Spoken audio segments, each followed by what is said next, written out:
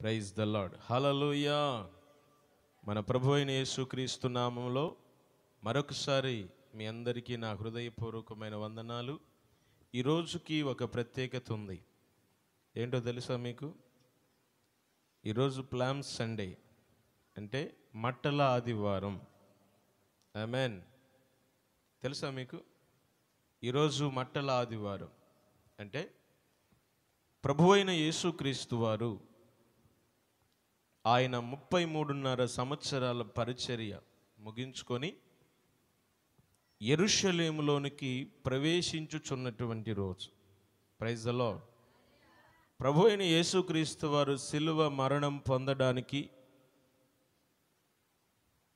లోకములో ఉన్నటువంటి సమస్త మానవాళికి రక్షణ కలుగు చేయడానికి నశించిపోతున్నటువంటి ఆత్మలకు గొప్ప విడుదల కలుగు చేయడానికి లోకరక్షకుడైన యేసుక్రీస్తు వారు ఎరుషలేములోనికి ప్రవేశించినటువంటి రోజు. ప్రైజ్లో ఈరోజు మట్టల ఆదివారం మట్టల ఆదివారం అంటున్నారు అయ్య గారు మరి మట్లయ్యి అని అనుకుంటున్నారేమో.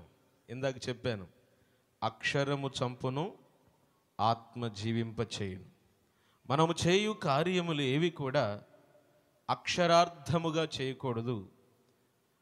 ఆ జరిగినటువంటి సంభవాలలో నుండి ఆ రోజున జరిగిన ఆ కార్యాలలో నుండి ఆత్మీయమైన విషయాలను మనం అర్థం చేసుకొని అవి మనకు అన్వయించుకొని ఈ రోజున ఆ ప్రకారంగా ఆత్మీయంగా మనం జీవించగలిగినప్పుడు దేవుని యొక్క ఉన్నతమైన కృపకు మనం పాత్రులు మగుతాం.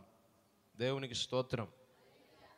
ప్రియులారా ఎరుషలేమునకు ప్రభు ప్రవేశించినటువంటి రోజు. ఈరోజు ప్రత్యేక ఆదివారం కనుక టుడే స్పెషల్ మెసేజ్. ఒక ప్రత్యేకమైన వర్తమానం. పాస్టర్ గారు స్పెషల్ మెసేజ్ అంటున్నాడు. ఈరోజు మూడింటి దాకా వదిలిపెట్టినట్టే ఉంది అనుకుంటున్నారేమో. దేవునికి స్తోత్రం. మీరేమి కంగారు పడవద్దు దేవుని కృప వలన ఆరింటి దాకా మనం వాక్యం విందాం. దేవునికి స్తోత్రం. కొంతమంది ఎట్టి హలోయా రైట్. ఏం టెన్షన్ పడమాకండి. ఇన్ టైంలోనే నేను వర్తమానాన్ని ముగిస్తాను. వాక్య ధ్యానం కొరకు ఒక వచనాన్ని చదువుకుందాం. లూకా శుభవార్త పంతొమ్మిదవ అధ్యాయం. లూకా శుభవార్త పంతొమ్మిదవ అధ్యాయము ఇరవై ఎనిమిదవ వాక్యాన్ని ఒకళ్ళు చదవండి. లూకా శుభవార్త పంతొమ్మిదవ అధ్యాయము ఇరవై ఎనిమిదవ వాక్యం. యేసు ఈ మాటలు చెప్పి ఎరుషలేమునకు వెళ్ళవెలనని ముందు సాగిపోయేను. అమెన్ అమెన్ అందరు చెప్పొచ్చుగా కొంచెం గట్టిగా ఆమెనని? నాతో చెప్పండి అందరూ. యేసు ఈ మాటలు చెప్పి ఎరుషలేమునకు వెళ్ళవలనని ముందు సాగిపోయెను. ఎరుషలేమునకు వెళ్ళవలెనని. ఎరుషలేమునకు వెళ్ళవలెనని. ఆమెన్. జాగ్రత్తగా విందాం. యేసుక్రీస్తు ప్రభుల వారి యొక్క ఆలోచన. ఇక్కడ చదవబడినటువంటి లేఖనాలలో దాగిన సత్యం మనం గమనించినట్లయితే ఆ రోజున యేసుక్రీస్తు వారి యొక్క ఆశ యేసుక్రీస్తు వారి యొక్క ఆరాటం ఏంటంటే ఎరుషలేమునకు వెళ్ళాలి. ఎరుషలేమునకు వెళ్ళాలి. ఎరుషలేమునకు వెళ్ళాలి అనేటువంటి తపన యేసుక్రీస్తు వారి. ఎందుకు ఆయన ఎరుషలేమునకు వెళ్ళాలి అని ఆశపడుతున్నాడు? ఎందుకు ఎరుషలేమునకు వెళ్ళాలని ముందుకు సాగుతున్నాడు అని మనం గమనిస్తే ఎరుషలేము అంటే అక్షరార్థంగా మీకు జ్ఞాపకం చేస్తాను. అక్షరార్థంగా ఎరుషలేము దేనికి సూచనగా ఉందంటే అది మహారాజు పట్టణం. ఎరుషలేము దేనికి సూచనగా ఉంది అంటే ఆశీర్వాద గృహము. ఎరుషలేము దేనికి సూచనగా ఉందంటే ఎత్తైన పట్టణం. ఎరుషలేము పాలస్తీనా ప్రాంతములోనే చాలా ఎత్తైన స్థలములో కట్టబడినటువంటి పట్టణం. ఎరుషలేము ప్రాకారములు కలిగినటువంటి పట్టణం. దేవునికి స్తోత్రం. ఇది ఎరుషలేమును గురించినటువంటి అక్షరార్థమైనటువంటి సమాచారం. నెంబర్ టూ ఎరుషలేమును గురించినటువంటి ఆత్మీయమైనటువంటి విషయాన్ని మనం గమనిస్తే ఈ ఎరుషలేము దేనికి సూచనగా ఉంది అంటే ఎరుషలేము ఎవరికి సూచనగా ఉంది అంటే ఒక ఆత్మీయమైనటువంటి విశ్వాసికి సూచనగా ఉంది. దేవునికి స్తోత్రం. ఎరుషలేమయేహోవను సియోను నీ దేవుని కీర్తించుము కొని ఆడుము ప్రైజ్ ద లార్డ్. ఎరుషలేము యహోవాను కీర్తించుకొనియాడంటే ఎరుషలేము కీర్తించిద్దండి దేవునికి స్తోత్రం. ఎరుషలేము దేనికి సూచనగా ఉందంటే ఒక ఆత్మీయుడికి ఒక ఆత్మీయురాలికి సూచనగా ఉంది. ఒక్క మాటతో చెప్పాలంటే ఆ ఎరుషలేము నేనే. చెప్పండి. చెప్పండి. ఈ వీడియోలో చూస్తున్నటువంటి మీరు కూడా చెప్పండి. ఆ ఎరుషలేము నేనే. ఆ ఎరుషలేము నేనే. ఇప్పుడు యేసుక్రీస్తు వారు ఎక్కడికి వెళ్ళాలి అనుకుంటున్నాడు? చెప్పండి. ఎరుషలేమునకు వెళ్ళాలని ముందుగా సాగి వెళుతున్నాడు. అంటే ఇప్పుడు ఎరుషలేమునకు దేవుడు రావాలంటే ఆ ఎరుషలేము ఎవరు? మనమే. మనమే ఆ ఎరుషలేం. నేనే ఆ ఎరుషలేం. అంటే ఇప్పుడు ఆ పరలోక సింహాసనాన్ని విడిచిపెట్టి ఈ భూమి మీదకి దిగి వచ్చినటువంటి దేవుడు సార్వభవుడు స్వయంభవుడు సర్వశక్తి కలిగినటువంటి దేవుని యొక్క హృదయంలో ఉన్న ఆశ కోరిక ఏంటంటే ఎరుషలేముగా పిలువబడుతున్న నీలోనికి ఎరుషలేముగా పిలువబడుతున్న నాలోనికి ఎరుషలేముగా పిలువబడుతున్న మనలోనికి ఏసయ్య రావాలని ముందుగా సాగి వస్తున్నాడు. చపలు గుడి స్తోత్రం చెప్పండి. ప్రైజ్ లార్డ్ హల్లెలూయా ఒక్క మాటతో చెప్పాలంటే దేవుని కోరిక దేవుని యొక్క ఆశ దేవుని ఆరాటం ఏంటంటే నీలోనికి ఆయన రావాలని. ఎరుషలేములోనికి ఆయన రావాలని. అందుకనే ప్రకటన గ్రంథంలో ఒక మాట రాయబడింది చదవవసరం లేదు. హృదయం అనే తలుపునొద్ద నిలుచుని ఆయన తట్టుచున్నాడు. హలలుయా హృదయం అనే తలుపు నద్ద నిలుచొని తడుతున్నాడు. ఎవడైనను ఆయన స్వరము విని తలుపు తీసిన ఎడల ఆయన నీలోనికి వచ్చి నీవు ఆయనతో ఆయన నీతో కలిసి భోజనము చేయుదము. ప్రైజ్ ఇందును బట్టి ఈ సమాచారాన్ని బట్టి ఈ వాక్యాలను బట్టి ఈ వర్తమానాన్ని బట్టి మనం అర్థం చేసుకోవలసినటువంటి మాట ఏంటంటే ఏసయ్య నీలోనికి రావాలని ఇష్టపడుతున్నాడు. ఏసయ్య నీలో ఉండడానికి ఇష్టపడుతున్నాడు. యేసు ప్రభువారు నీ హృదయ సింహాసనం మీద మహారాజు పట్టణమైన నీ హృదయ సింహాసనము పైన ప్రభు ఆసీనుడుగా ఉండాలని నీలోనికి ప్రభు రావాలని ఆయన ముందుకు సాగి వస్తున్నాడు. హలలుయా హలలుయా మరి యేసు ప్రభు నాలునికి రావాలంటే ఎందుకు ఎందుకు పాస్టర్ గారు? ఆయన వచ్చేయచ్చుగా? ఆయనకి రావాలని ఆశ ఉంది. కానీ ఆయన ఎవరిలోకి పడితే ఎరుషలేములోనికి రావాలని ఉంది ఆయనకి. కానీ ఆయన ఎవరిలోనికి పడితే ఆయన ఎవరిలోకి పడితే వాళ్ళలోకి వచ్చేవాడైతే ఈరోజు ప్రపంచమంతా ఏసుమయమైపోయేది ప్రపంచమంతా యేసుక్రీస్తు వారి నాదములతో స్థుతుల సునాదములతో ఓ ప్రభువుని స్థుతించి కొనియాడేదే ప్రపంచం. దేవునికి స్తోత్రం. ఆయన ఎవరిలోనికి పడితే వాళ్ళలోనికి వచ్చే దేవుడు కాదు. ఎవరిలోకి పడితే వాళ్ళలోనికి వచ్చేవాడు ఇంకొకడు ఉన్నాడు. పిలవని పేరెంట్ వాడు. వాడు ఎవరిలో పడితే వాళ్ళ దూరుతున్నాడు. దేవునికి స్తోత్రం. ఎవరండి? సైతానగాడు ఎవరు ఎవరికి పడితే వాళ్ళకి పడుతున్నాడు. అసలు వాడు పట్టిన సంగతి కూడా పట్టించుకున్న వాళ్ళకి అర్థం కాదు. ఆమెన్. దేవునికి మహిమ కలుగును గాక అసలు పట్టిన వాళ్ళకు కూడా అర్థం కాదు. నాకు వాడు పట్టిండు అని. దైవ సేవకులు వచ్చి ప్రార్థన చేస్తే కానీ అప్పుడు లోపల ఉన్నోడు బయటకు వస్తాడు. ఆమెన్. రైట్. ప్రియమైన దేవుని బిడ్డలారు గమనించండి. యేసుక్రీస్తు ప్రభుల వారు ఈ ప్రత్యేకమైన ఆదివారం రోజున నీలోనికి ప్రభువు రావడానికి ముందుగా సాగి వస్తున్నాడు.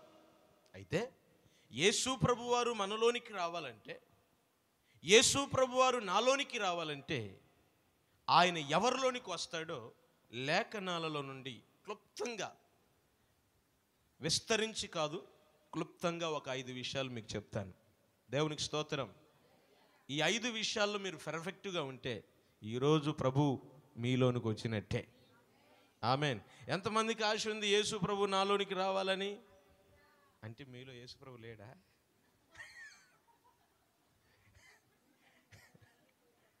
దేవునికి స్తోత్రం. దొరికిపోయారు. ప్రైజ్ లాడ్ రైట్ ఒకవేళ దేవుడు ఉంటే దేవునికి స్తోత్రం. లేకపోతే ఖచ్చితంగా ఆయన మీలోనికి రావాలని ఎలా? ముందుగా సాగి వస్తూ ఉన్నాడు. ఆయన మనలోనికి రావడానికి మన్నేం చేయమంటున్నాడో ఆయన చెప్పిన విషయాలు లేఖనాల్లో నుండి మీకు చూపిస్తాను. చూడండి. లోక శుభవార్త పంతొమ్మిదవ అధ్యాయం. ముప్పై వచనము నుండి ముప్పై నాలుగు వచనం వరకు. గ్రంథాలు ఉన్నవాళ్ళు తెరిచి చూడండి. ముప్పైవ వచనం నుండి ముప్పై నాలుగు వచనం వరకు చదవగలిగిన వారు స్పష్టముగా చదివి సహాయము చేయండి.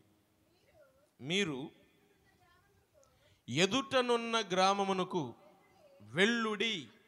ఎవరు మాట్లాడుతున్నారు ఈ మాట? అది అది గమనించండి మీరు ఎవరు ఎవరు మాట్లాడుతున్నారండి? యేసు ప్రభుల వారు మాట్లాడుతున్న మాట మీరు ఎదుటనున్న గ్రామమునకు వెళ్ళుడి. అందులో మీరు ప్రవేశించగానే కట్టబడి ఉన్న ఒక గాడిద గాడిద పిల్ల మీకు కనబడును. దాని మీద ఏ మనుష్యుడును ఎన్నడును కూర్చునలేదు. దానిని దానిని విప్పి తోలుకొని రండి. ఎవడైనను మీరెందుకు దీనిని విప్పుచున్నారని మిమ్మను అడిగిన ఎడల ఇది ప్రభువునకు కావలసి ఉన్నదని అతనితో చెప్పుడని చెప్పి వారిని పంపెను.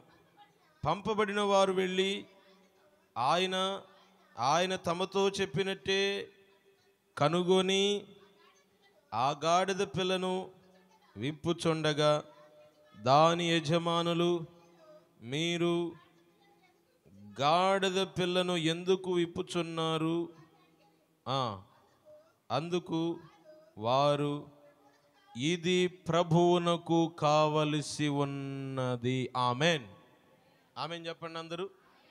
ఇక్కడ యేసు ప్రభు వారు చెప్తున్న మాట వెల్లుడి విప్పుడి చెప్పుడి తీసుకొని రండి. యేసుప్రభు చెప్తున్నాడు వెల్లుడి చెప్పండి.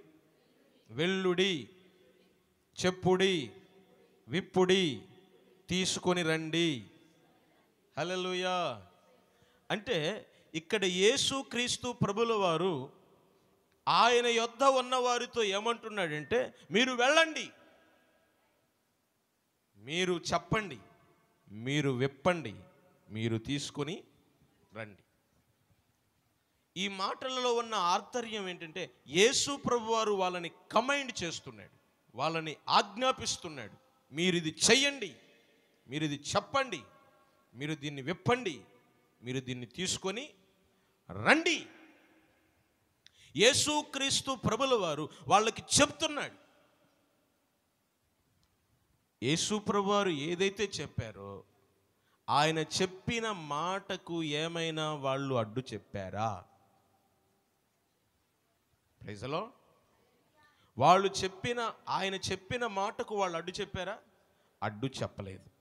అడ్డు చెప్పకపోగా యేసుక్రీస్తు ప్రభుల వారు ఏదైతే చెప్పారో ఆయన చెప్పినది చెప్పినట్టుగా చేశారు. హల్లెలూయా ఈరోజు వాక్యం వింటున్న బిడ్లారా యేసు ప్రభుల వారు ఎరుషలేముగా పిలువబడుతున్న నీలోనికి ఆయన రావాలంటే నెంబర్ వన్ ఏసయ్య నీతో ఏదైతే చెప్తున్నాడో నీతో చెప్పినది చెప్పినట్టుగా నువ్వు చెయ్యాలి. హలలుయా వాళ్ళు ఈ చదివిన మాటల్లో ఒక విషయం కలపటం కానీ ఒక విషయం తీసివేయటం కానీ జరిగిందా? ఏది జరగలే. మనోళ్ళకి బాగా తెలుసు. కూడికలు తీసివేతలు. ఆమెన్. ఏంటండి? కొన్ని కలుపుతారు కొన్ని తీసివేస్తారు. ఏదైనా చెప్పింది చేసేటప్పుడు కొన్ని కలుపుతారు కొన్ని తీసివేస్తారు. కానీ ఇక్కడ ఈ శిష్యులు యేసు ప్రభువారు చెప్పిన దాంట్లో నుంచి ఏదీ తీసివేయలేదు. యేసుక్రీస్తు వారు చెప్పినది కాక ఏది కలపలేదు. చెప్పినది చెప్పినట్టుగా చేశారు. ఈరోజు వర్తమానాన్ని వింటున్న బిడ్డలారా యేసుక్రీస్తు ప్రభుల వారు నీలోనికి ప్రవేశించాలంటే యేసు ప్రభుల వారు నీలో నివసించాలంటే నీవైనా నా నేనైనా మనమందరం కూడా ఆయన చెప్పినది చెయ్యాలి. ఆయన చెప్పినది చేస్తే ఆయనది చెప్పినది చెప్పినట్టుగా మనం చేస్తే ఆయన చెప్పిన మాట ప్రకారంగా మనం జీవిస్తే ఆయన మనతో ఉంటాడు. అలెలుయా దేవునికి స్తోత్రం. ఈ మధ్య భార్య భర్తలిద్దరూ గొడవ పడుతూ ఉన్నారు. చీటికి మాటికి గొడవ పడతా ఉన్నారు. ఆ గొడవ చిన్నగా చిన్నగా పెరిగి తారాస్థాయికి వెళ్ళి ఈ భార్యాభర్తల గొడవ ఏమైపోయిందంటే చివరికి విడిపోయే స్టేజికి వచ్చింది మొత్తానికి చాలా చాలామంది దగ్గరికి వెళ్ళారు వాళ్ళ సమస్య పరిష్కారం కోసం. చాలామంది పెద్దలను ఆశ్రయించారు. వాళ్ళు మంచి భక్తిపరులైన వాళ్ళే. మందిరానికి వెళ్ళేవాళ్ళే కానీ వీళ్ళిద్దరికీ చీటికి మాటికి గొడవలు. భార్యాభర్తల మధ్యలో గొడవలు. ఈ సమస్యను బంధువుల ద్వారా కానీ పెద్దల ద్వారా కానీ పరిష్కారం జరగట్లేదు. మొత్తానికి అది నా దాకా వచ్చింది. దేవునికి స్తోత్రం. మీరు రావాలి పాస్టర్ గారు మీరు రావాలి అని ఫోన్ల మీద ఫోన్లు చేస్తూ ఉన్నారు. నేను దరిదాపుగా ఒక పది పదిహేను రోజులు ఆగి మొత్తానికి వీలు చూసుకొని వెళ్ళాను. వెళ్ళిన తర్వాత కూర్చోబెట్టి ఎవ్వరు లేరు. భార్య భర్త ఇద్దరిని కూర్చోబెట్టి మాట్లాడుతూ ఉన్నాను. ఏంటి మీ సమస్య ఏంటి? మీరు విడిపోవటానికి కారణం ఏంటి? అంటే ఆమంటది పాస్టర్ గారు మీరు ఎన్నన్నా చెప్పండి. సచ్చిన సచ్చిన ఎంతో నేను కాపురం చేయను అంటుంది సత్తే ఎట చేస్తావులే అమ్మా? బతుకుంటేనక చేసేది. దేవునికి స్తోత్రం. ఆమంటది సచ్చిన నేను ఇంత కాపురం చేయనండి అంటుంది. దేవునికి స్తోత్రం. ఆమె ఏందండి చేసేది? నేనే చెబుతున్నా. నేను కూడా మీకేం తెలుసమ్మా? దేవునికి స్తోత్రం. నేను కూడా సచిన నేను చిన్నగా విని విని అడిగాను అసలు ఏంటి? ఏంటయ్యా నువ్వు? ఏంటి అసలు ఆమె ఆమెలో ఉన్న సమస్య ఏంటి? ఏంటి కారణం ఏంటి? సచ్చినా చేయనంటే నువ్వు ఏమి ఏమైందంటే? ఆయన అంటాడు ఒకటే మాట నేను చెప్పిన మాట నేను చెప్పిన మాట ఆమె అంటే బాగానే ఉండేది. ఇంకొక మాట వాడాడు ఆడ. దేవునికి స్తోత్రం. ఏం వాడాడో మీకు తెలుస్తుంది. హలో లూయ నేను చెప్పిన మాట అది వింటలేదండి. బీపీ రెండు వందలకి పెరిగిపోతుంది మనోడికి. దేవునికి స్తోత్రం. వంటది ఆమంటది ఆమంటది ఎట్ట అయినదండి ఎట్ట అయినది ఇంట్లోకి కనీసం ఉప్పు తేడు పప్పు తేడు ఏమి తేడు అని ఆమె గోస ఆమెది ఇప్పుడు నేను చెప్పే మాట ఏంటంటే ఈ భర్త భార్య నుంచి వేరైపోవాలి అనుకుంటున్నాడు. ఎందుకు విడిపోవాలనుకుంటున్నాడు? నేను చెప్పిన మాట నేను చెప్పిన మాట నా భార్య వెంటలేదు. కనుక ఏమతో నేను ఉండను? ప్రైజ్ ద ఒక భార్య భర్త చెప్పిన మాట వినకపోతేనే భర్త నేను ఉండను అంటున్నాడే. సార్వభైవుడు సార్వభవుడు స్వయంభవుడు కోటి సూర్య తేజోమయుడు వేల్పులలో అతి కాంక్షణీయుడు పెండ్లి కుమారుడు పరిశుద్ధుడు మహోన్నతుడైన దేవుడు మనతో ఉండాలంటే ఆ వరుడైన యేసుక్రీస్తు వారు వధువైన సంఘముతో ఉండాలి అంటే ఆయన చెప్పినట్టు మనం వినాలా వద్దా? దేవునికి స్తోత్రం. భర్త చెప్పినట్టుగా భార్య వినకపోతే భర్త కోపం వస్తుంది? అమ్మా? మరి ప్రభువు చెప్పినట్లుగా సంఘం వినకపోతే దేవుడు చెప్పినట్లుగా దేవుని బిడ్డలు వినకపోతే దేవుని కోపం వస్తుందా రాదా? చెప్పండి అమ్మా ఆయన కోపం వస్తుందా రాదా? ఆ బాబా ఆయన కోపం ఎందుకు వస్తుంది అండి ఆయన కరుణామయుడు ప్రేమమయుడు శాంతమూర్తి. స్వస్థుడు శాంతం కూడా స్వస్థుడు స్వస్థుడు స్వస్థుడు. ఒక్కసారే పెడతాడు అంతే. దేవునికి స్తోత్రం. కనుక ఇప్పుడు నేను చెప్పొచ్చే మాట ఏంటంటే దేవుడు చెప్పినట్లుగా వింటే ఆయన మాట విని ఆయన మాటల ప్రకారంగా మనం నడుచుకుంటే ఆయన మనతో నిత్యము నివాసము చేస్తాడు. అలలుయా ఇప్పుడు మనం ఆయన చెప్పినది చేస్తున్నామా చేయట్లేదా అనేది నేను అడగను మీరు మిమ్మల్ని పరీక్షించుకోండి. మీరు దేవుడు చెప్పింది చేస్తున్నారా? లేకపోతే మీ ఇష్టానుసారంగా మీరు చేస్తున్నారా? దేవుని ఆజ్ఞల మార్గాల్లో నడుస్తున్నారా? సంఘమా? ఇక్కడ ఉన్నవారు కానీ దూరంగా ఉండి ఈ మాటలు వింటున్నవారు కానీ మీరు ఏ సంఘానికి వెళ్ళినా మీరు ఏ సంఘానికి వెళుతున్నప్పుడు కూడా మీరు ఏ సేవకుడి దగ్గర ఉంటున్నప్పుడు కూడా దేవుడు చెప్పినట్లుగా దేవుని వాక్యం చెప్పినట్లుగా మీరు నడుచుకుంటున్నారా? లేకపోతే మీ ఇష్టానుసారంగా మీరు జీవిస్తున్నారా? నీ ఇష్టానుసారంగా నువ్వు జీవిస్తూ దేవా నాతో ఉండు దేవా నాతో ఉండు దేవా దిగిరా దిగిరా అంటే ఏం దిగి వస్తాడు ఆయన? దేవునికి స్తోత్రం. ఆయనకు ఇష్టము పుట్టించు ప్రాయము నీలో చూడలేకపోతున్నాడే. ఆయనకి ఇష్టము పుట్టించు కార్యములు నీలో ఆయన కనుగొనలేకపోతున్నాడే. ఆయన ఎలా నీ యొద్దకు దిగి వస్తాడు? ఆయన నీ యొద్దకు దిగి రావాలంటే ఆయన నీలో నివసించాలంటే నీకు ఆయనకు ఇష్టము పుట్టించు ప్రాయము ఆయన నీలో కనుగొనవలెను. హల్లెలూయా. ఆయన చెప్పినది చెప్పినట్టుగా చేస్తేనే ఎరుషలేమైన నీలోనికి ఆయన దిగి వస్తాడు. స్తోత్రం చెప్పండి. నెంబర్ టూ నేను చెప్పాను కదా ఇంకా లోతుగా వెళ్ళడానికి టైం లేదు కనుక నేను క్లుప్తంగా అవుట్లైన్స్ జ్ఞాపకం చేస్తూ వెళుతున్నాను. రెండవదిగా ఆయన మనలో ఉండాలి అంటే రెండవది చేయాల్సిన పని. లోక శుభవార్త పంతొమ్మిదవ అధ్యాయము ముప్పై ఐదు ముప్పై ఆరు వాక్యాలు చదవండి. తర్వాత వారు యేసునొద్దుకు. దానిని తోలుకొని వచ్చి ఆ గాడిద పిల్ల మీద తమ బట్టలు వేసి తమ బట్టలు వేసి దాని మీద ఎక్కించి ఆయన వెళ్ళుచుండగా తమ బట్టలు దారి పొడుగున పరిచిరి. స్తోత్రం చెప్పండి. చేతులు తెచ్చుకున్న వాళ్ళు మాత్రమే చెప్పండి. తెచ్చుకోకపోతే నేనేమన్నాను దేవునికి స్తోత్రం. తమ బట్టలు. ఎవరి బట్టలండి? పక్కన వాళ్ళ బట్టల? లేకపోతే బీరువాలో ఉన్న బట్టల? ఎవరి బట్టలంట? తమ బట్టలు. ఆ రోజుల్లో వస్త్రము అంటే చాలా ఘనమైనది. వస్త్రము ఘనతకు సూచన. వస్త్రము అధికారమునకు సూచన. వస్త్రము అంటే చాలా ఘనత ఘనత. వస్త్రము లేకపోతే వస్త్రము లేకపోతే ఒక పెళ్ళిలోనికి కూడా ఎంట్రన్స్ కానియరు ఒకరోజు ఒక యవనస్తుడు పెళ్ళిలోకి వస్తే ఆ విందు ఆ ప్రధాని ఆ యజమాని చూసి స్నేహితుడా వస్త్రము లేక ఇక్కడకు నువ్వు ఎలా వచ్చితివి వస్త్రము లేనందున వాని కాళ్ళు చేతులు కట్టి వెలుపటి చీకటి గదిలో పడవేయుడి అని ఆజ్ఞాపించబడ్డాడు. వస్త్రము లేకపోతే అంతటి అవమానం వస్త్రము లేకపోతే అంతటి నీచమైన పరిస్థితి. ఇంకో విషయం తెలుసా? ఆ రోజుల్లో ఎవరన్నా పెద్ద ఆయన వస్తుండంటే యజమాని వస్తుండంటే ఆ జీతగాడు దాసుడు ఏం చేస్తాడు తెలుసా? అతని వస్త్రమును తీసి నడుముకు కట్టుకొని వంగి దండము పెట్టవలెను. మీకు అర్థమైందండి? దేవునికి స్తోత్రం.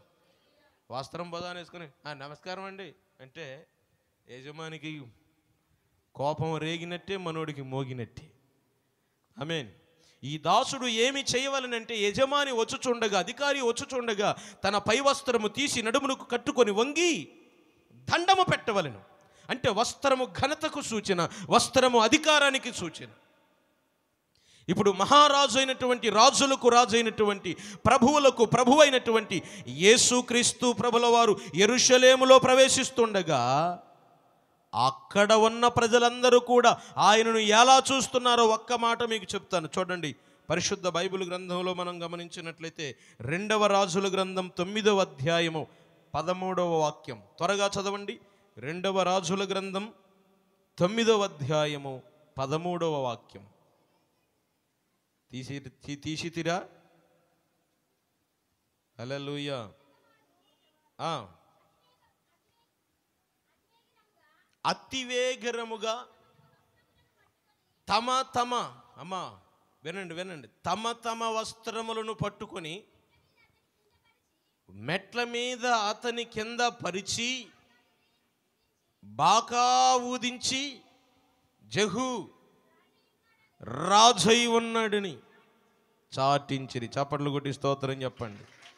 హలలుయా అక్కడ ఉన్నటువంటి అధికారులు సైనికులు ప్రజలందరూ కూడా తమ యొక్క వస్త్రములు రాజైనటువంటి జహు కాళ్ళ కింద పరిచి అక్కడ బాకా ఊదించి జహూ రాజై ఉన్నాడు అని చాటిస్తున్నారు. అంటే రాజు వస్తూ ఉంటే రాజును గనపరుచువారు ప్రజలందరూ కూడా తమ వస్త్రములు తీచి రాజు కాళ్ళ కింద పరుస్తూ ఉన్నారు. అంటే ఇప్పుడు ఎరుషలేములోనికి వస్తున్నటువంటి ఈ ప్రజలందరూ కూడా తమ వస్త్రములు తీసి ఆయన వస్తున్నటువంటి దారిలో పరుస్తున్నారంటే ఇక్కడ వీళ్ళందరూ యేసు ప్రభు వారిని ఎవరిగా చూస్తున్నారు?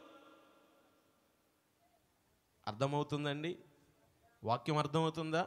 యేసు ప్రభుని జహూని వాళ్ళు అక్కడ రాజుగా చాటిస్తున్నారు కనుకనే వాళ్ళ వస్త్రములు తీసి ఆయన కాళ్ళ కింద పరిచారు. ఇప్పుడు ఇక్కడ కూడా సేమ్ సిచ్యువేషన్. ప్రజలందరూ కూడా తమ వస్త్రములు తీసి ఆయన వస్తున్నటువంటి దారిలో పరుస్తున్నారు అంటే ఇక్కడ వీళ్ళందరూ కూడా యేసుని ఏమని చూస్తున్నారు? ఆయనను రాజుగా చూస్తున్నారు. హలలుయా యేసు రాజుగా వస్తూ ఉన్నాడు. భూలోకమంతా తెలుసుకుంటారు. రావి కోటి తేజుడు రమ్యమైన దేవుడు. రావి కోటి తేజుడు రమ్యమైన దేవుడు. రారాజుగా వచ్చుచున్నాడు యేసు.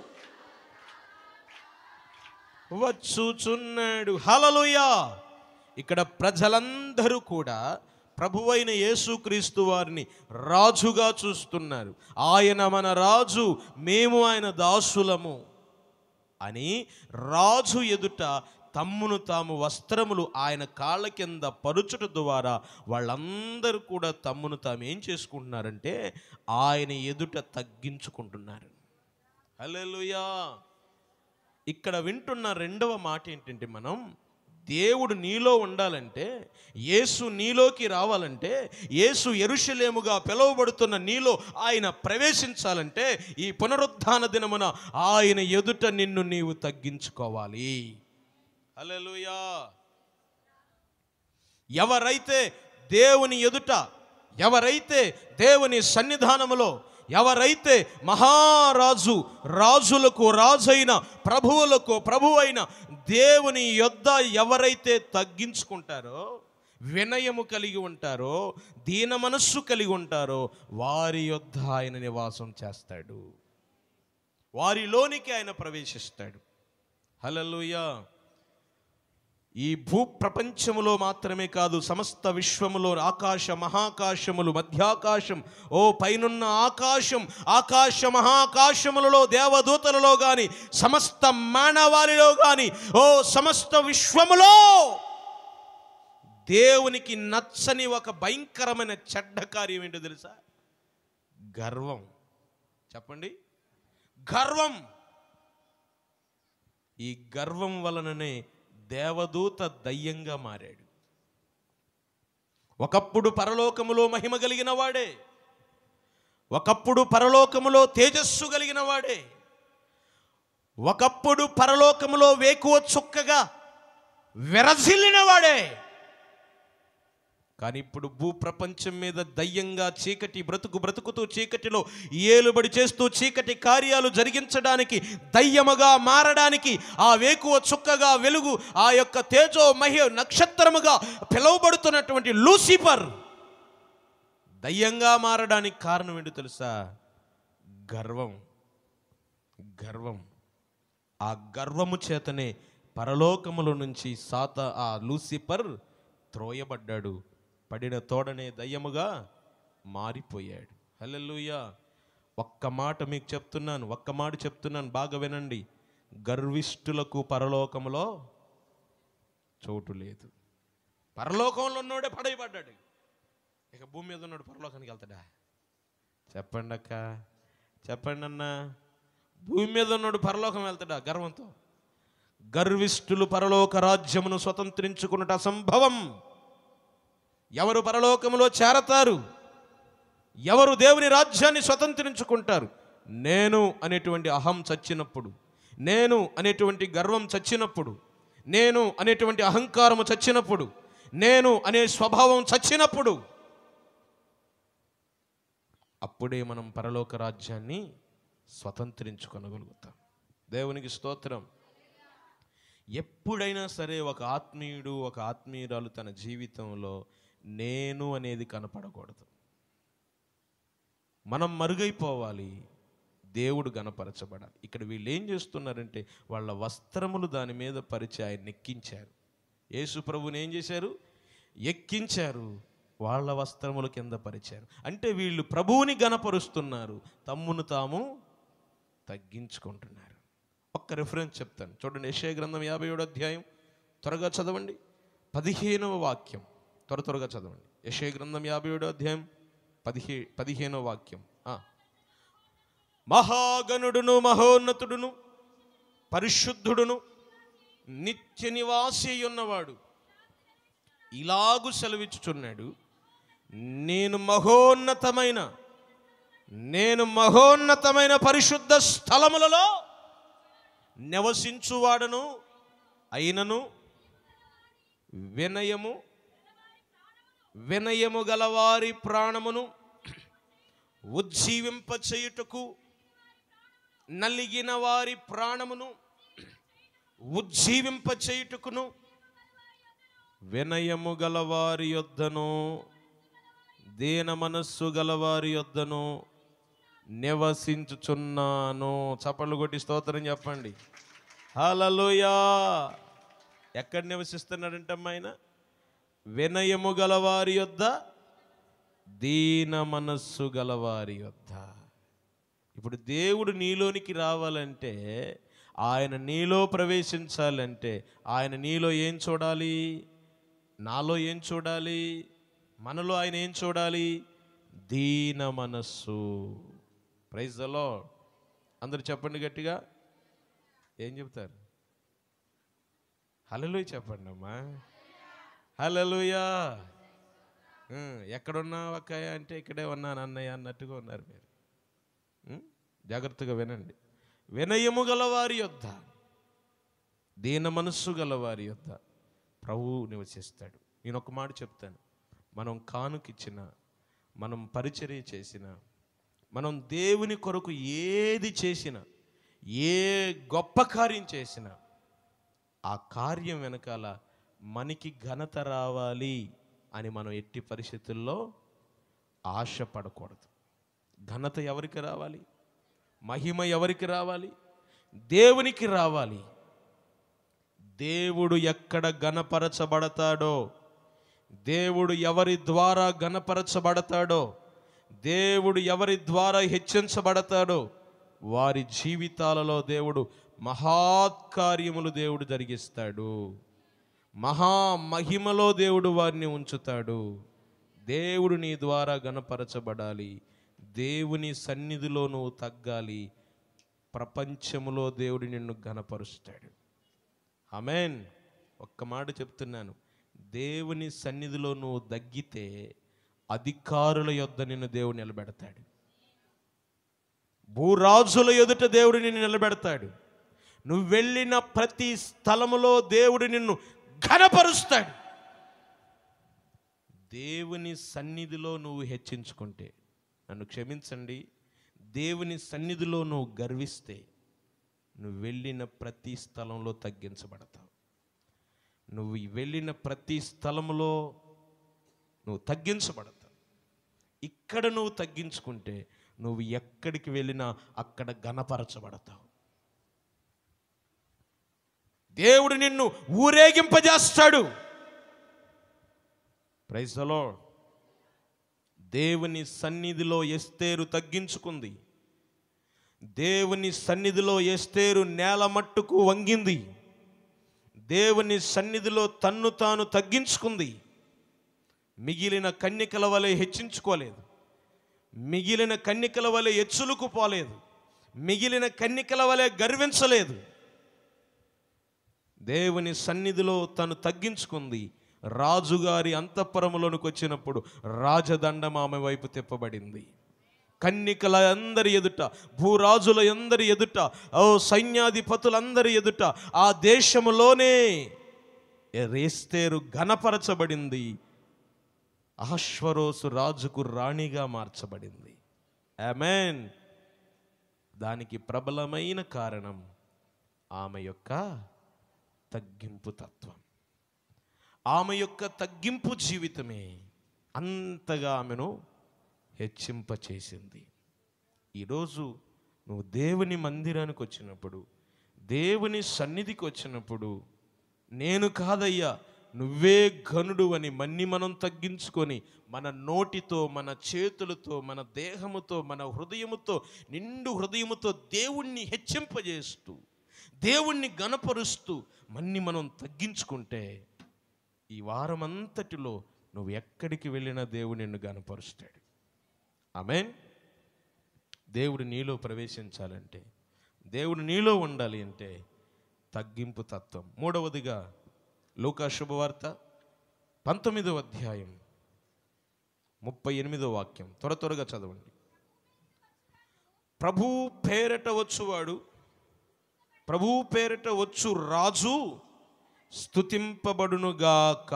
హలలుయా స్తుతింపబడునుగాక. అందరూ గట్టిగా చెప్పండి. కొంచెం నోరు తెరిచి చెప్పండి. ఇక్కడ నోట్లో ఈ నేలు వేలు పెట్టినా కొరకనట్టే ఉంటారు మీరు. ఇక్కడ దేవునికి స్తోత్రం. భర్త దగ్గర ఉంటుంది మీ తడాక. ఆమెన్. లేకపోతే పక్కనింటి ఆమె దగ్గర ఉంటుంది మీ తడాక. హల్లెలూయా. దేవునికి స్తోత్రం. ఏమంటారు తెలుసా? ఈ కుక్క ఎన్నడు చచ్చిదో అన్ని కుక్కలు దత్తనే కానీ ఈ కుక్కకి సావు రాట్లే. దేవునికి స్తోత్రం.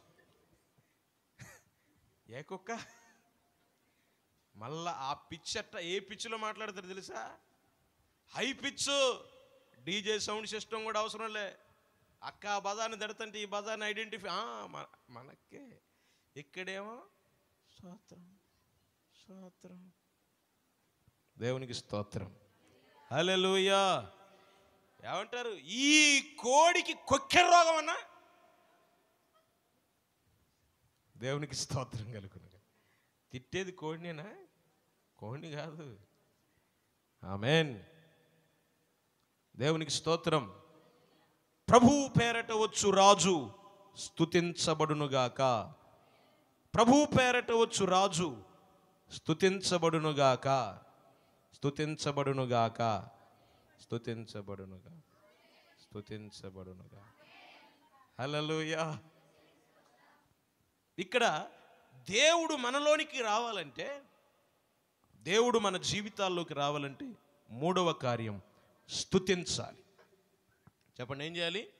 స్థుతించాలి ఒకటి మాట వినాలి రెండు తగ్గించుకోవాలి మూడు స్థుతించాలి ఎక్కడైతే ఏ కుటుంబంలోనైతే ఎవరి జీవితాల్లోనైతే అత్యధికంగా దేవుణ్ణి స్థుతిస్తారో దేవుని దేవునిని గురించినటువంటి స్థుతుల సునాదములు ఎవరి గృహాలలోనైతే ఎవరి జీవితాలలోనైతే వినపడతాయో ఆ స్థుతుల ధ్వనులు పరలోక సింహాసనాన్ని ఎవరి ద్వారానైతే తాకుతాయో మనం ఇక్కడ స్థుతించే స్థుతుల ధ్వనులు పరలోక సింహాసనాన్ని తాకితే దేవుడు ఆ సింహాసనం మించి లేచి ఆ ఆ పరలోక సింహాసనం నుంచి లేచి భూమి మీద నువ్వు స్థుతించే స్థుతులు ఉన్నాయే నీ స్థుతులలో ద్వారా దేవుడు ఒక సింహాసనాన్ని వేసుకొని నీ దగ్గరికి దిగొచ్చి నీ ముందు కూర్చుంటాడు. చప్పలు కొట్టి స్తోత్రం చెప్పండి.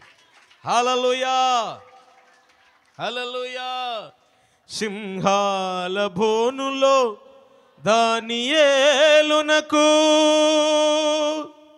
తోడై నిలిచావు నీవు. సింహాల బోనులో దానియేలునకు తోడై నిలిచావు నీవు. సింహాల నోళ్ళను మోయించినావు.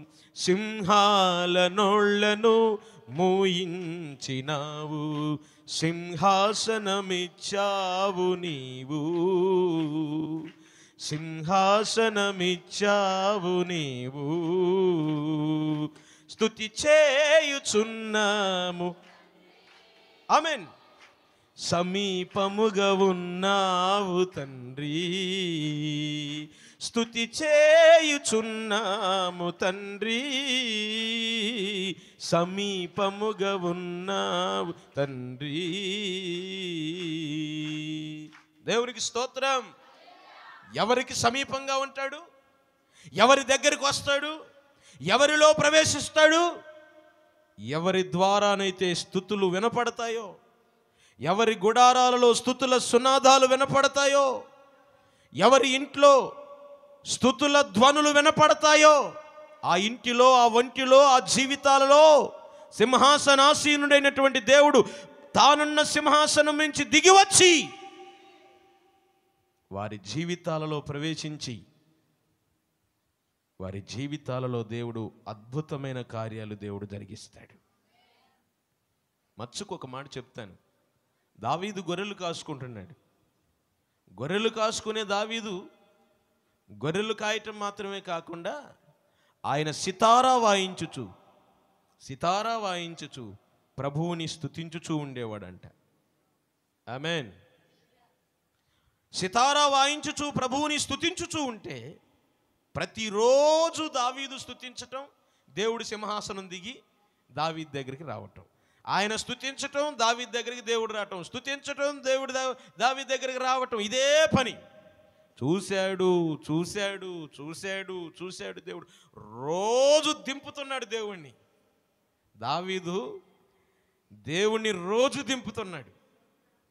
ప్రైజ్ ద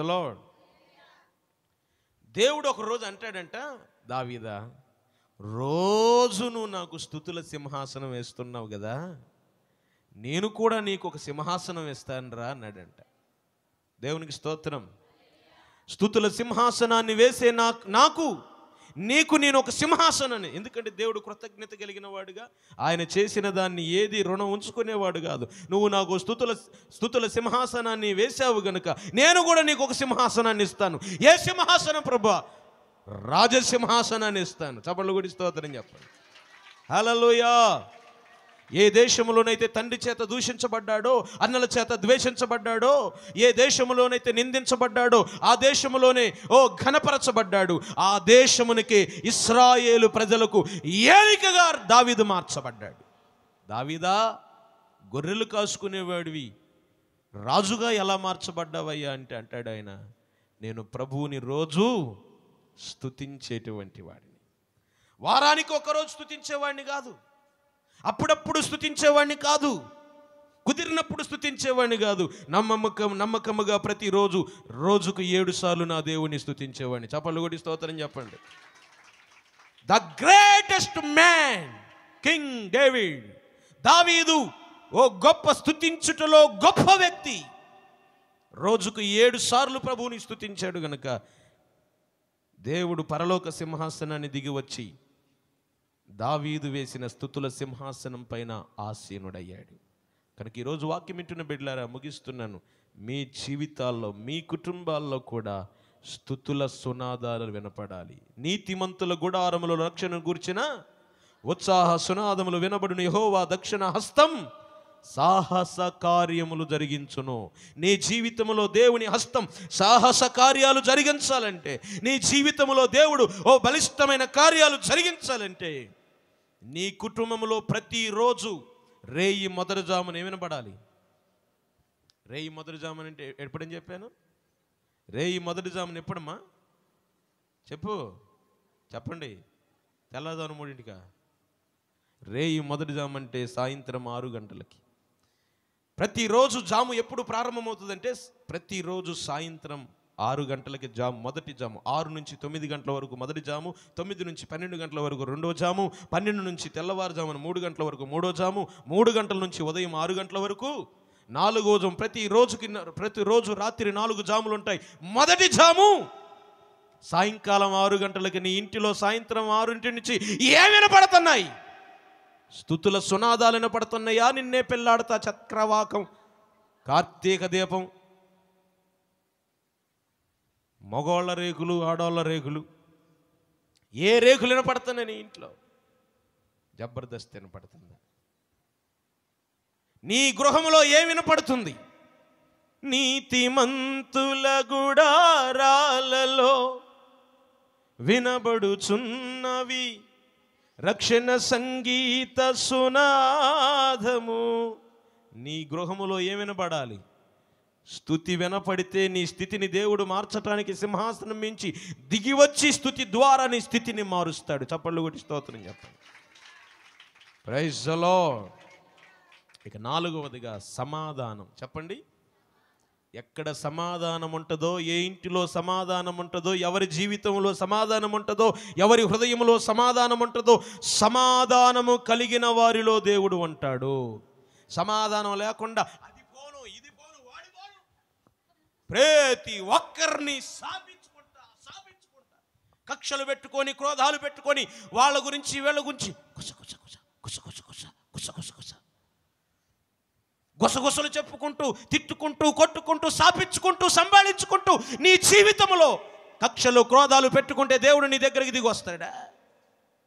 దేవుడు నీలో ఉంటాడా? చదవండి బైబిల్ వాక్యం పంతొమ్మిదవ అధ్యాయము. లూకాశుభవార్త పంతొమ్మిదవ అధ్యాయము ముప్పై ఎనిమిదవ వాక్యంలో మనం గమనించినట్లయితే ప్రభువు పేరట వచ్చు రాజు స్థుతింపబడును గాక పరలోకమందు సమాధానము చపళ్ళు కొట్టి స్తోత్రం చెప్పండి. సమాధానం సమాధానం సమాధానము సమాధానం సమాధానపరచువారు ధన్యులు. సమాధానము వెదకి దానిని వెంటాడండి. ఈరోజు వాక్యం వింటున్న బిడ్డలారా నువ్వు ఎక్కడ సమాధానం కోల్పోయావో ఎవరి జీవితం ఎవరి ద్వారా నువ్వు సమాధానం కోల్పోయావో ఎవరి మీద విరోధంగా ఉన్నావో ఎవరి మీద పోరాటంగా ఉన్నావో ఎవరిని చూస్తే నీ మూతి ముప్పై మూడు అంకర్లు పోతుందో?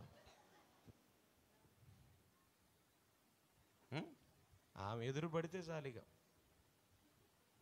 పక్షవాతం వచ్చినట్టు కుక్కర్ రోగం వచ్చినట్టుగా దేవునికి స్తోత్రం. ముఖం ఇటు తిప్పుకొని పక్షవాతం వచ్చి వచ్చి మూతి ఎట్టుంటుందండి దేవునికి స్తోత్రం కలుగునుగాక. నీ జీవితంలో సమాధానం లేకపోతే రాజు నీ దగ్గరికి రాడు. ప్రభువు నీ దగ్గరికి రాడు. ఈరోజు ఒక్కసారి ఆలోచన చేసి ఎవరిని చూస్తే నువ్వు కోపంతో రగిలిపోతున్నావు. ఎవరిని చూస్తే పండ్లు పటపట పటపట కొరుగుతున్నావు. ఎవరితో నీకు సమాధానము లేదో. ఈరోజు అది వెతుకు. సమాధానము కలిగి ఉండు సమాధానము కలిగి ఉండు సమాధానం కలిగి ఉండు. దేవునికి స్తోత్రం. హల్లెలూయా హల్లెలూయా. ఏసైకి స్తోత్రం ఏసైకి స్తోత్రం. నేను అనుకున్నా ప్రభువా నేను ఎవరితో మాట్లాడినా కానీ ఆ తనతో మాత్రం నేను మాట్లాడిన ప్రభు అనుకుని తెస్టించుకొని కూర్చున్నా. దేవునికి స్తోత్రం. లూయ ప్రభు మన నాతో స్వరంతో మాట్లాడుతుండు. నువ్వు ఆయనకి ఫోన్ చేయి నువ్వు ఆయనకి ఫోన్ చేయి దేవుడు మాట్లాడుతానండి నువ్వు ఫోన్ చేయి నువ్వు ఫోన్ చేయి నువ్వు ఫోన్ చేయి నేను ఫోన్ చేయటం దేవుడా? నేను ఫోన్ చేయటం ఏంటి అసలు? దే ప్రభు అంటే నువ్వు చెయ్యి. నువ్వు చెయ్యి. దేవునికి స్తోత్రం. నేను అస్సలు చేయను ప్రభా చేయను అంటున్నా నేను. నేను చేయను ప్రభా చేయను. అసలు ఆ మనిషికి నేను ఫోన్ చేయటం ఏంటి ఊగిపోతాను. ప్రభు అంటాడు చెయ్యి నాయన. ఎంత చెప్పినా నేను చేయట్లే. దేవుడు చివరికి ఒక పెద్ద ఆటం బాంబు పిలిచాడు. ఏమంటుండే తెలుసా? నువ్వు రేపు పెట్టబోయే మీటింగుల్లోకి నేను రావాలంటే నువ్వు ఫోన్ చెయ్యి. బాంబు బ్లాస్ట్ అయిపోయి. దేవునికి స్తోత్రం. ఎంత ఖర్చు పెట్టి ఎంత ప్రయాసపడి ఎంత కన్నీరు గార్చి చేస్తుంటే నువ్వు లేకపోతే ప్రభా చేస్తా ప్రభా. నా సమస్తాన్ని పక్కన పెట్టి నన్ను ఎన్ని భయంకరంగా ఎన్ని తిట్టినా ఎన్ని భయంకరమైనటువంటి పరిస్థితులు గుండా నడిపించిన. అన్ని పక్కన పెట్టి తగ్గించుకొని ఫోన్ చేసి మాట్లాడాను. దేవునికి స్తోత్రం.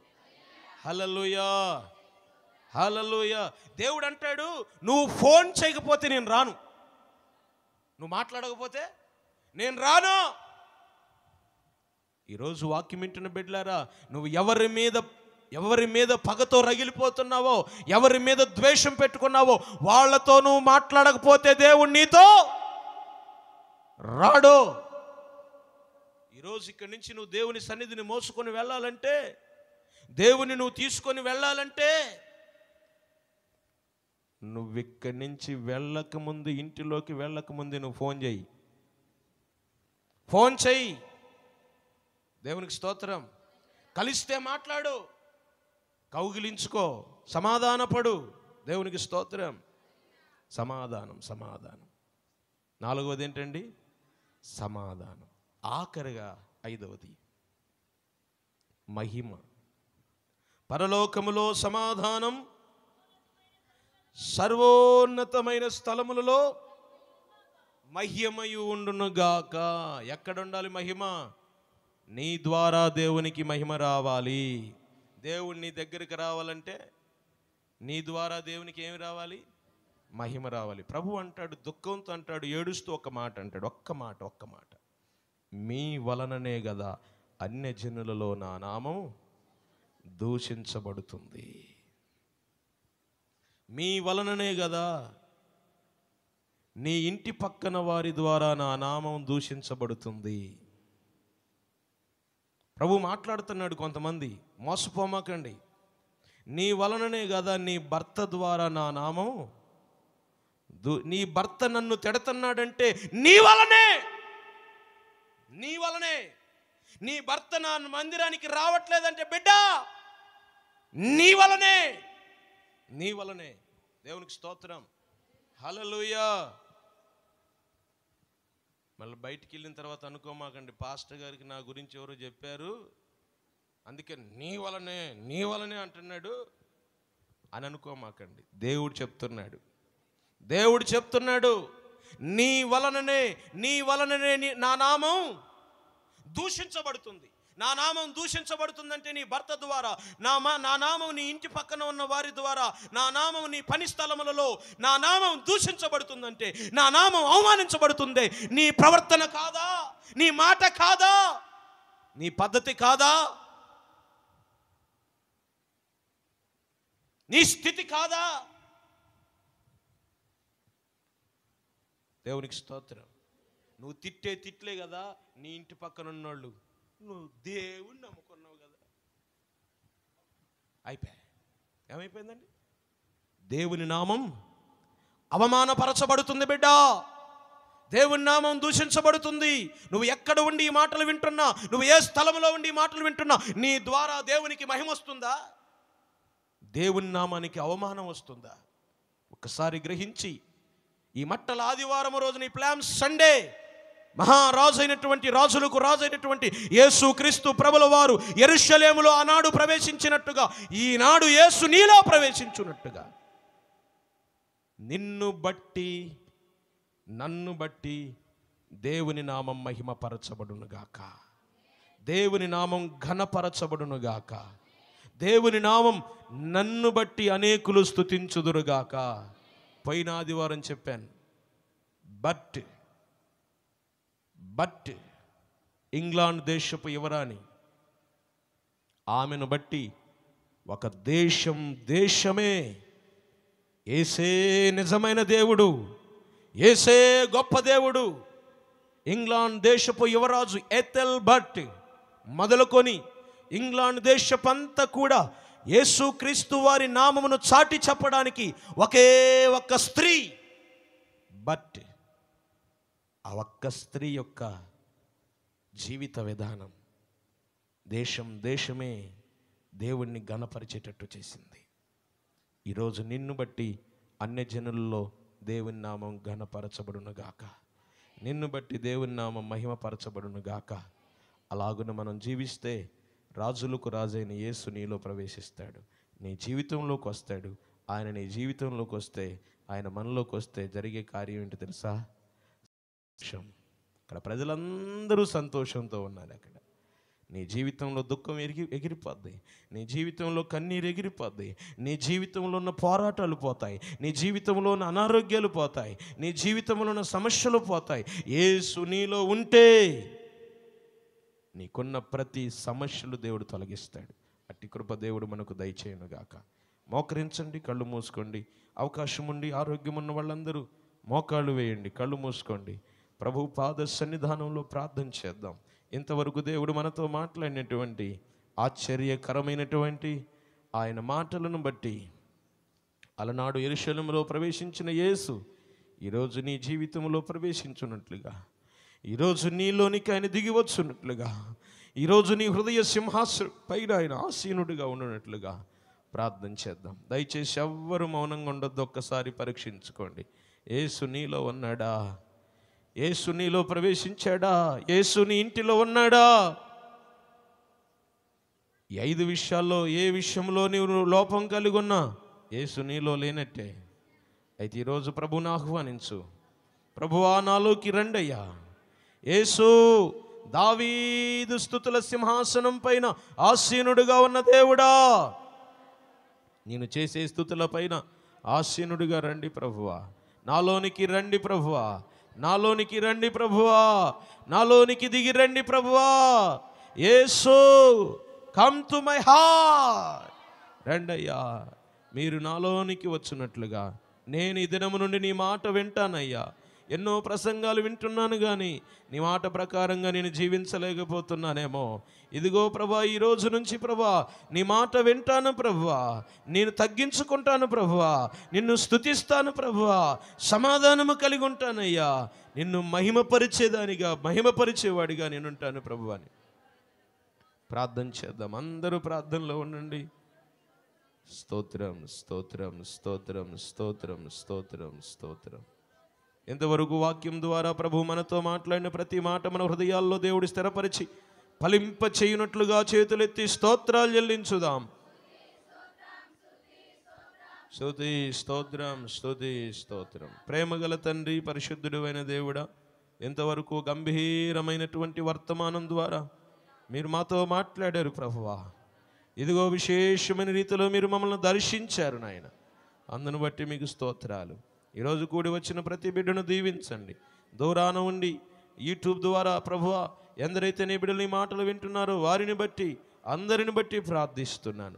అయా ప్రతి వారిలో ఎరుషలేములో ప్రవేశించిన రాజా ఎరుషలేముగా పిలువబడుతున్న మాలోనికి మీరు రండి ప్రభువ. మేము వచ్చినట్లుగా ప్రభువానికి స్తోత్రాలు. అయా మీ మాట విని ఆ ప్రకారంగా జీవించున్నట్లుగా తగ్గింపు జీవితము కలిగి అయాస్తుతి యాగం అర్పించుచు సమాధానము కలిగి మిమ్మను మహిమపరచుటకు మాకు సహాయము దయచేసి. దీవించి మహిమ ఘనత ప్రభావములు మీకు ఆపాదిస్తూ ఏసునామమును బట్టి ప్రార్థన మీకు సమర్పించి వేడుకుంటున్నాను తండ్రి. ఆమెన్. ఆమెన్.